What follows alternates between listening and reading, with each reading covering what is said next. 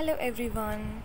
Now I'm going to discover the bond between gut health and the immune system. Can you join with me? Yes? Come, let's go. A growing body of research has now correlated the microbiome with a wide variety of diseases. Research shows that almost 70% of our body's immune cells resides in our gut.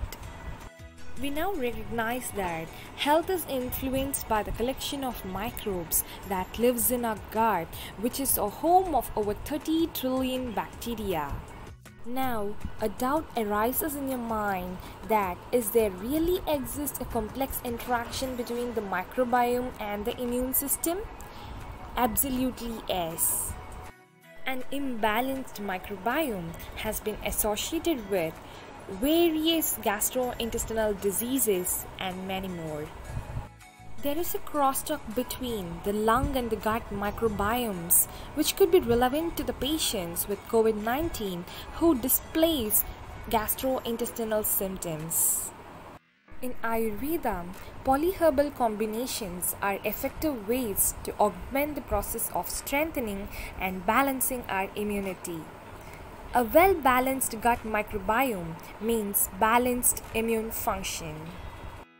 Gut dwelling bacteria keep pathogens in check, aid digestion and nutrition absorption, contributes to the immune function greatly.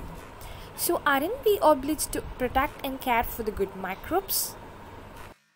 Here comes our Ayurveda that gave us the science of Rasayana, an immense gift of herbs such as Guduchi or Giloy that helps enhance the count of the good bacteria in the gut, thereby improving our body's immunity and overall physiological functioning. I hope everyone are familiar with the term enema that is popularly known as Basti Karma in Ayurveda that helps our gut microbe friends to be safe from uneliminated waste plus unfriendly bugs that are lodging in our colon.